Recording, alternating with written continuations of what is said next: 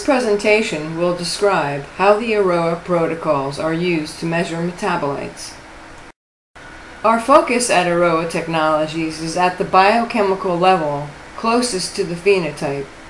Generally, the size of the metabolome is smaller compared to that of the genome or proteome, making the biochemical content easier to measure and understand physiology.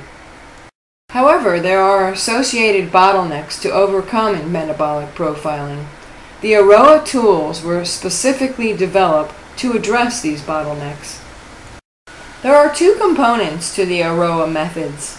The first involves using specifically designed cell culture media to label the complete biochemical content of a living organism with an easily detectable molecular signature.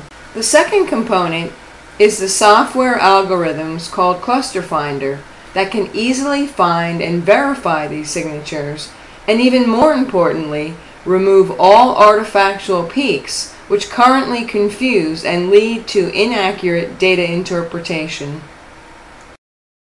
Almost all living things contain two isotopes of carbon, carbon-12 and carbon-13, Generally, the natural abundance of carbon is approximately 98.9% C12 and 1.1% C13.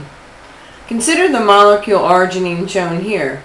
This molecule has 6 carbons, 14 hydrogens, 4 nitrogens, and 2 oxygens. Given the natural abundance of carbon, each of the 6 carbons has a probability of 98.9% that it is a C12 and a 1.1% probability it is a C13. This means that in a mass spectrometer, arginine will have a base peak at 175.119 AMU and a very small peak called an M plus 1 at 176.122 that is approximately 6% of the base peak's height. This small size of the M plus 1 peak makes it generally useless for data interpretation. If the percentage of C13 is increased to 5%, note that the M plus 1 peak is now significantly larger, 32% of the size of the monoisotopic base peak, and can be easily detected and used to identify compounds of interest. Furthermore, if the C13 level is increased to 95% C13, the peak arrangement is now dramatically changed and the monoisotopic peak appears at 181 that is entirely C13 and has not an M plus 1 but rather an M minus 1 at 180.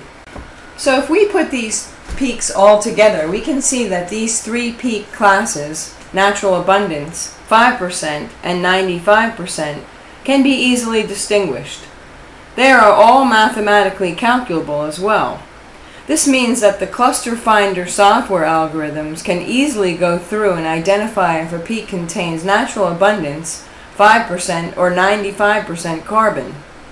Furthermore, the 5% and 95% peaks for a given compound are naturally paired with one another in a way that provides a tremendous amount of additional information.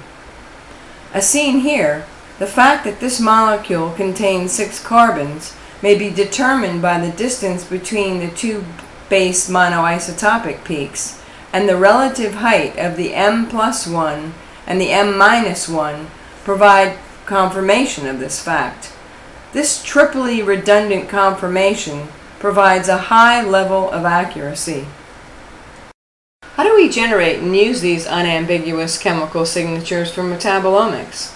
Like SILAC, the IROA method utilizes full metabolic labeling, and cells are grown on isotopically defined media. And instead of labeling at greater than 98%, IROA is based on labeling compounds with C13 carbon sources at, enriched at either 5% or 95% C13 to create specific patterns. Any cell grown on such a media will effectively show a complete labeling of its entire biochemical content if it is allowed to grow for at least five cell divisions. All biological compounds will carry a distinct molecular signature, and these molecules can be distinguished from each sample set. Experimental, grown in 5% C13 media, or control, grown in 95% C13 media, as they have differing masses. Every molecule in the 5% cells will demonstrate a strong M plus 1 peak, while every molecule in the 95% cells will demonstrate a strong M minus 1 peak. After labeling, the 5% labeled cells may be treated with a stressor, say a drug, and because of these distinct patterns, may be directly compared to the 95% control in a single pooled analysis. Using a pooled sample dramatically removes technical variability. And during the data analysis, the Cluster Finder software can identify and remove all unsigned molecules which can be classified as either noise or artifacts as they will not have either a strong M plus 1 or M minus 1. The removal of artifacts, usually the largest portion of the data set, is generally not possible in current metabolomics methods, where the high number of observations increases the false discovery rate.